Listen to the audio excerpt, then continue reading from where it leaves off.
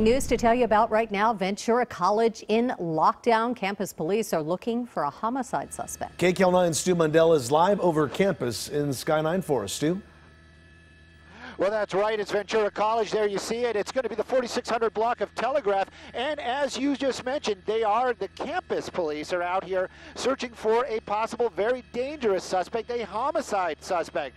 Now, they sent out a tweet basically telling all the students to shelter in place, stay away from doors, turn off the lights, and just kind of wait until they uh, get the all clear. Right now, the campus, we believe, is still on lockdown. We did see a couple of folks walking around out there. Not sure if maybe they didn't get the memo, but right now, now we understand the Ventura College out here in the city of Ventura locked down while they search for a homicide suspect. Live in Sky 9 over Ventura, I'm Stu Mundell. Back to you two in the studio.